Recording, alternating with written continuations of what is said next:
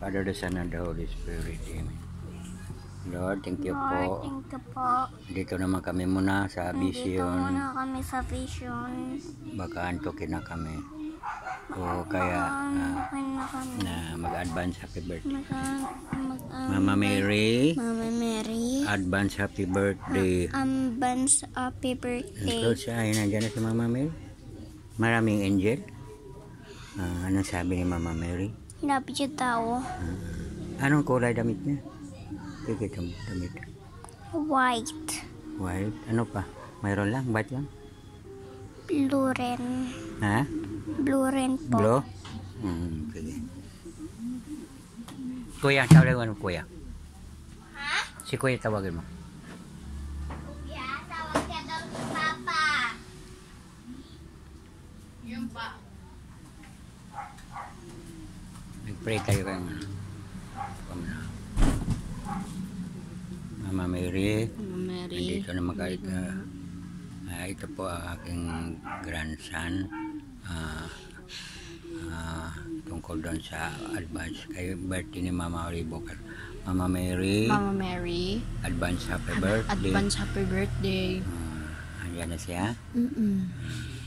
Maraming, ano, maraming angel. Mm-mm. Ah, anong sinabi niya? Love you daw. Nagtutugtugan sila. Mm-mm.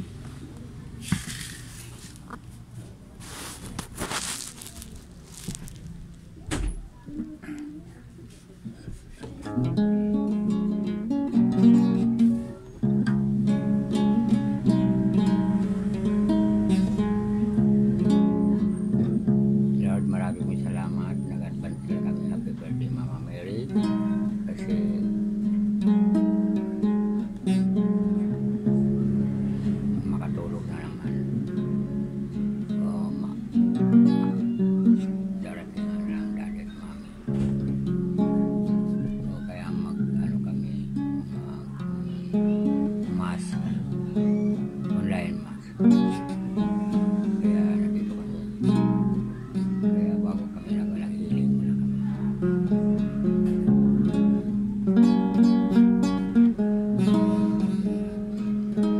happening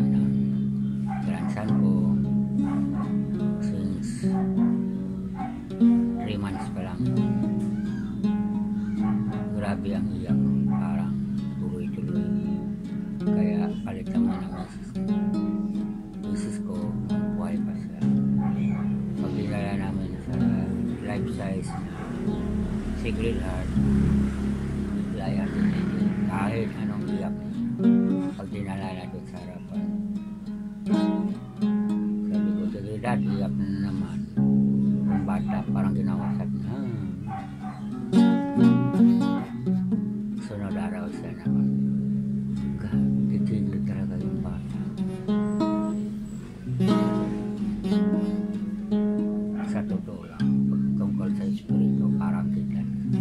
Nandiyan na yan kahit ang mga relatives, sulat relatives, or the sins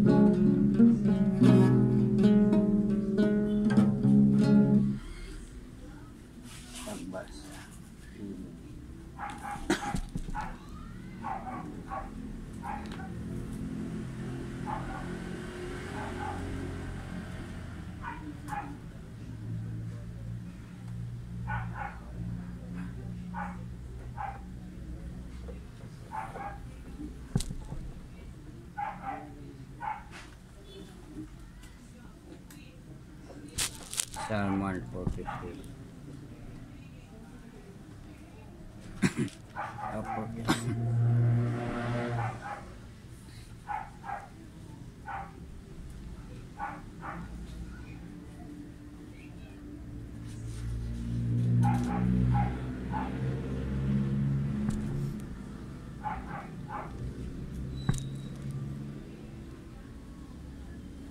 Diyos ang hari iyo ko ang imong pagkagaman. Pasalamaton ko ikaw hangtod sa kahangturan. Pasalamaton ko ikaw adlaw tanan, daygon ko ikaw hangtod sa kahangturan. Gamahanan ang Ginoo ug kinahanglan siya. Dili makutuki bangyang gahom, daygon ang imong nabuhat. Sa tanang kaliwatan, isang yaw nila ang mga buhat mong katilingahan, mga katingalahan. Mga tao, masangyaw sa imong himaya o kahalangdon o mamalandong ako sa kahibulungan mong mga buhat. Isangyaw sa mga tao ang mga buhat mong katingalahan ug ipaila ko sa pang imong gahom. Panagulo nila ang imong kaayo o mag-awit sila sa imong kamaluluyon. Higugmaon ug maluluyon ang Ginoo. Dali dili daling masuko o puno sa gugmang walay paglubad. Masi, maayo sa tanan ug maluluyon sa tanan niyang binuhat. Ginoo muday kanimo ang tanan mong binuhat ug magpasalamat kanimo sa tanan mong katawan. Isangyaw niya ang himaya sa imong ginharian o ang imong gahom. Aron hisayran sa mga tao ang imong gahom ug ang himaya. Ang kahalang doon sa imong ginharian, magpadayon sa imong ginharian, ang imong ginharian. Ug maghari kahangtod sa kantoran, matimanon ang Diyos sa iyang mga saad ug makita ang maayon niya diya sa tanan niyang binuhat. Tabangan niya ang tanan nga ana sa kalistanan ug lipayon niya ang mga dinaog-daog. Ang tanang mga buhi malaumon ug mag-alagad kanimo. Ug hatagan mo sila pagkaon sa ilang gikinahanglan. Hatagan mo siya sa ilang gikinahanglan ug tabagan mo ang tanan. Matarong ang Ginoo. Sa taniyang buhaton nagikan ang iyang kaluoy sa tanan niyang gibuhat. Tagon tagdon niya diya diya ang tanan nga mosangkit kaniya kung matidudanon ang ilang pagtawag kaniya. Hatagan niya sila sa tanan nga ilang gikinahanglan. Kung siya magpasinog kaniya, tagdon niya ang iyang pagtuwaw sa iyang ug iyang luwason sila. Pinalipdan niya ang tanan nga mahigugma kaniya. Apan naglago niya ang mga dautan. Daygon ko kanunay ang Ginoo ug daygon unta ang iyang balaang ngalan hangtod sa kahangturan. Ang pulong sa Ginoo. Unang pagbasa sa Kulosas.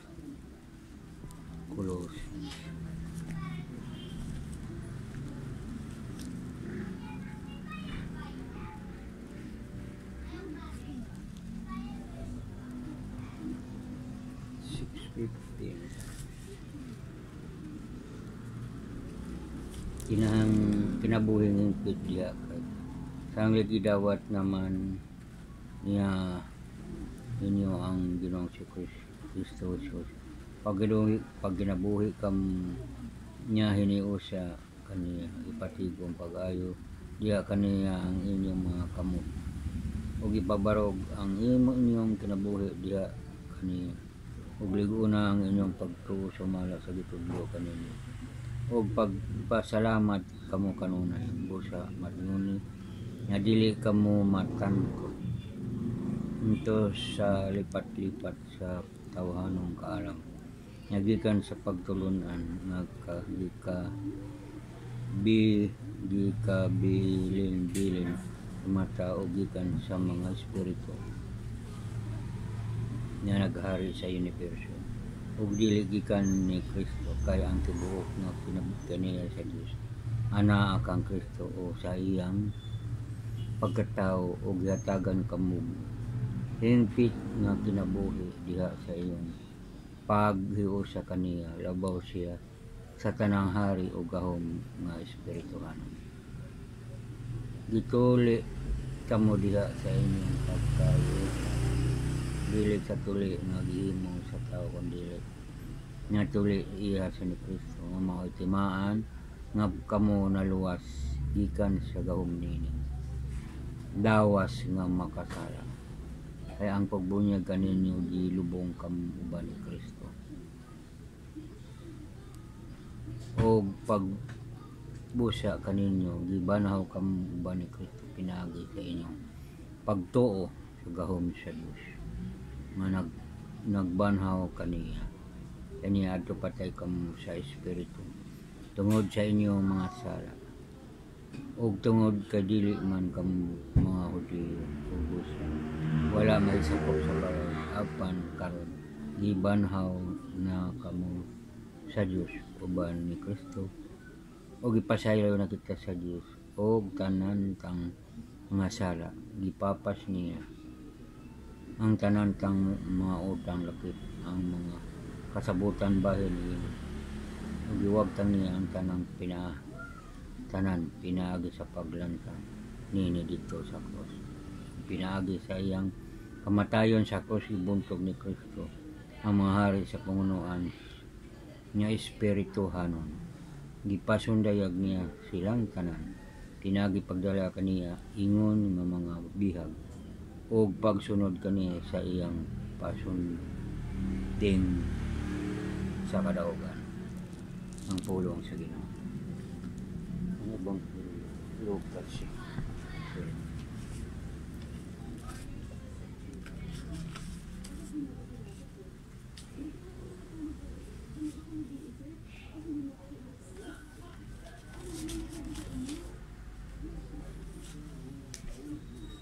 Gipili ni Jesus ang 12 ka apostoles ang ebanghelyo sa Ginoo.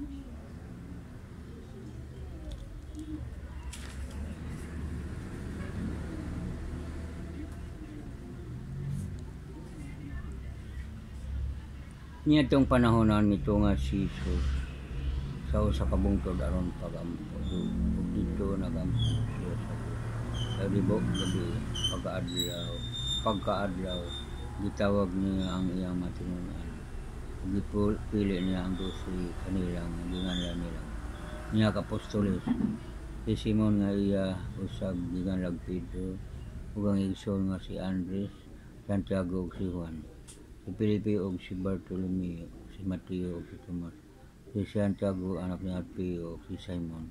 Nga gitawag og Patriarka. Si Judas nga anak ni Santiago nga si Judas Iscariote ang nahimong mabudion.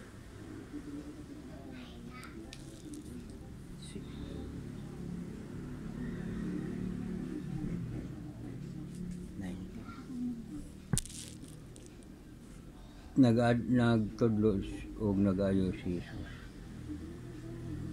sa ka nakalugsong na sila sa bungtod mitindog si Jesus sa usa ka dapit nga patag kauban ang kapilan nga iyang matinunan dito may daghang tao nga gikan sa tibok Judea ug sa Jerusalem ug sa mga syudad sa kabaybayonan sa Tiro ug sa Sidon nangadto sila kang Hesus aron pagpamati kaniya ug aron ayohon sila sa ilang mga balatian.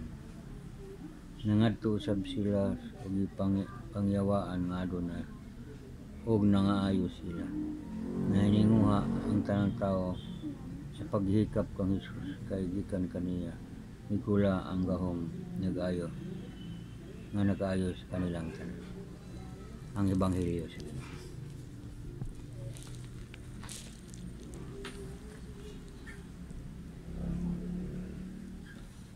Mm,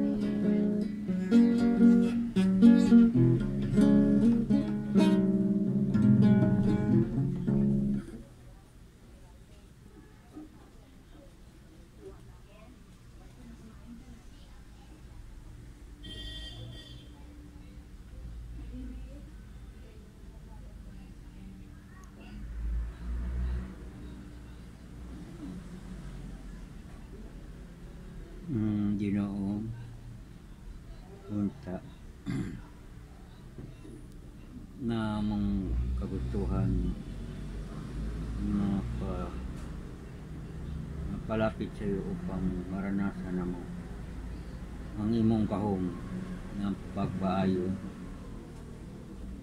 magpaayo sa mga sakit o pagbago sa among kinabuhi. Salamat, Ama.